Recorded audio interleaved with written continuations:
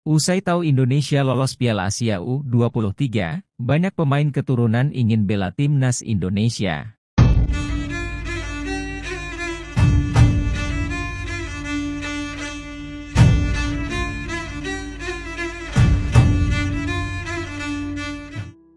Banyak pemain keturunan yang sekarang ingin membela timnas Indonesia.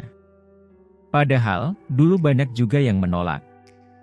Ada beberapa alasan mengapa mereka yang dulu cuek atau ragu justru berbalik mengirim sinyal ingin membela timnas. Anggota PSSI bidang naturalisasi, Hamdan Hamedan mengungkapkan beberapa alasan tersebut. Hamdan mengatakan, beberapa pemain keturunan saat ini tertarik membela timnas Indonesia karena melihat progres yang dicapai bersama pelatih asal Korea Selatan, Shin Tae-yong. Shin Taeyong mengubah Indonesia yang dulu tidak dianggap sekarang diperhitungkan. Dengan kata lain Indonesia sekarang jauh lebih kuat dari sebelumnya. Lihat saja, kemarin Indonesia U23 mampu mengukir sejarah, usai mampu melewati babak kualifikasi Piala Asia U23 dan berhasil lolos ke Piala Asia U23 2024. Jadi ada yang dulunya tidak mau sekarang mau, kita lihat bagaimana timnas Indonesia semakin kuat, kata Hamdan Hamedan. Alasan kedua, kata Hamdan, adalah hadirnya Ivar Jenner dan Rafael Struik yang andil dalam lolosnya Indonesia ke Piala Asia U23.